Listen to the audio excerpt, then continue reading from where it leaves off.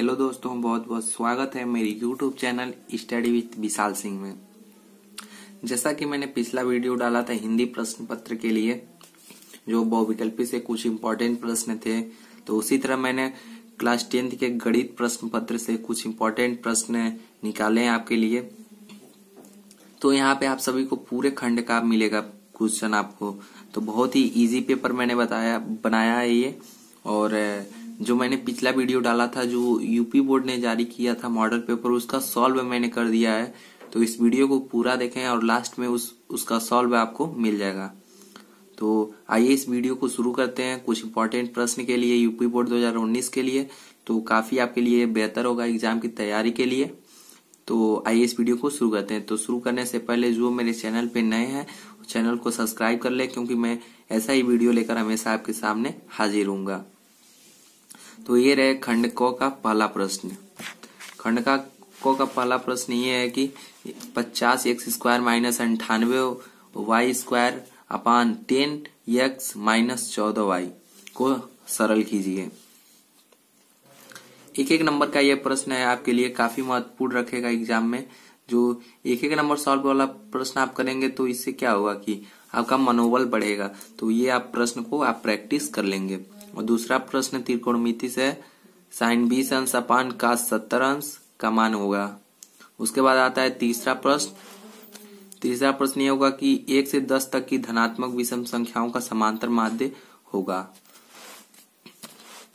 उसके बाद आता है कि चौथा प्रश्न, चित्र में ए बी वृत्त का व्यास है तथा ओ वृत्त का केंद्र है। यदि कोण सी ओ बी बराबर पचास अंश तो कोण सी ए बी का मान होगा। सी ए बी का यहाँ का कोण का आपका मान पूछ रहा है। यहाँ का कोण का आपका मान पूछ रहा है। तो यहाँ यहाँ पे पचास अंश दिया, यहाँ का कोण का मान पूछा एक नंबर का यह प्रश्न है आपके लिए। और पांचवा प्रश्न ये है कि आपके लिए यदि x plus one upon x बराबर सेवन तो x square plus one upon x square का मान क्या होगा? ये आपके लिए। ये खंड क का था प्रश्न, अब खंड ख पे आते हैं हम। ये रहा खंड ख आपके लिए। खंड ख में ये दो दो नंबर का प्रश्न है आपके लिए। यदि द्विघात समीकरण। X square plus k x plus three equal to zero का मूल एक हो तो के का मान ज्ञात कीजिए। उसके बाद आएगा, यदि sine theta three upon five हो तो टेन थीटा का मान ज्ञात कीजिए। थ्री यदि तीसरा प्रश्न यह है कि यदि सत्ताईस, तेईस x minus four x plus four पंद्रह, तीन और सात का समांतर माध्य पंद्रह हो तो एक्स का मान ज्ञात कीजिए।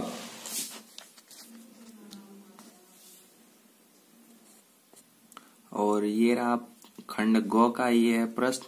इसमें भी तीन प्रश्न आपको मिलेंगे खंड गौ में। और खंड गौ का ये प्रश्न है कि रेखा three x plus four y equal to twelve और द्वारा अच्छों पर कटे अंत खंडों की मापे ज्ञात करो।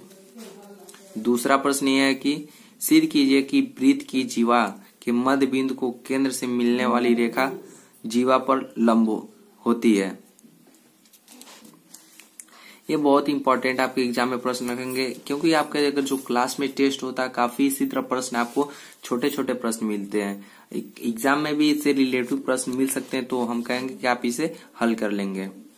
और तीसरा प्रश्न ये है कि थर्टीन पाई अपान थ्री का मान ज्ञात करो। अब आते हैं अगले प्रश्न की तरफ़।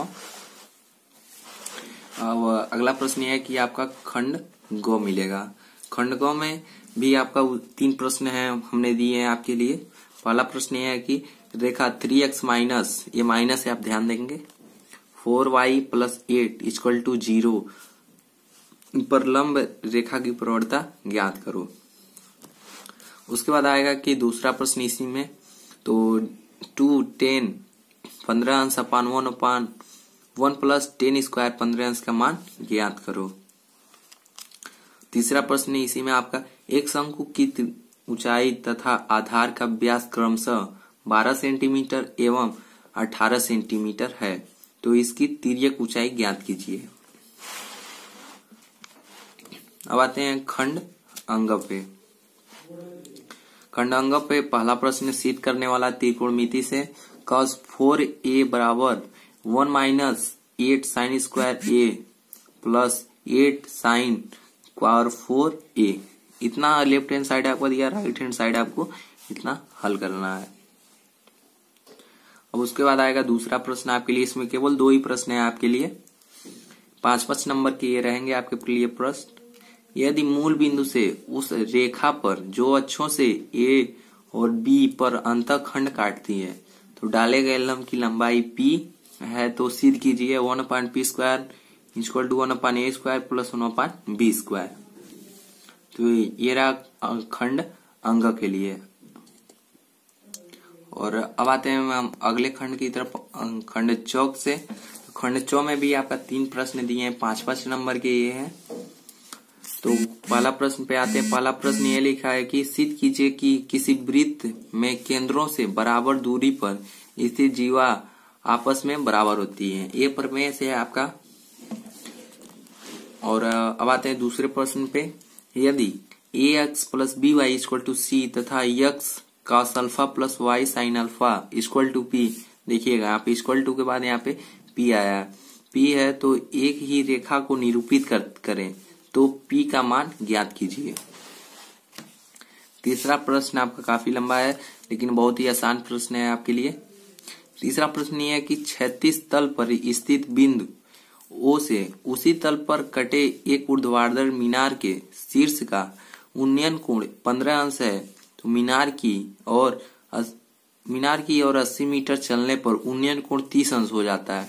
तो मीनार की ऊंचाई ज्ञात करो। उसके बाद सबसे लास्ट खंड आपके लिए ये है कि इसमें भी ये छह छह नंबर प्रश्न है आपके लिए। छह छह नंबर का एक क्वेश्चन है आपको, दोनों क्वेश्चन आपको करने हैं इसमें। पहला प्रश्न इसमें आपको सरल करना है।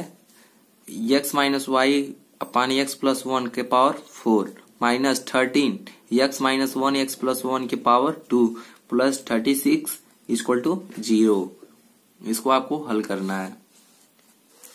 और दूसरा यह कि रचना से आपके लिए एक चक्रित चतुर्भुज ए बी सी डी की रचना कीजिए, जिसमें ए बी और ए बी का मान चार सेंटीमीटर और बी सी का मान पाँच सेंटीमीटर और सीए का मान छह सेंटीमीटर, तथा डी का मान चार सेंटीमीटर है।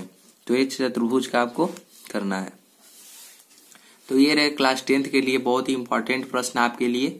अगर मेरा वीडियो अच्छा लगे तो लाइक ज़रूर करें, अपने दोस्तों के भी साथ शेयर करें, क्योंकि उनको भी वीडियो ये मिले। और इसे आप हल करेंगे तो अच्छा ही रहेगा और आपके लिए एग्ज़ाम के लिए बेटर रहेगा। तो thank you watching my video please subscribe my channel study with Vishal Singh जय हिंद फंदे मातरम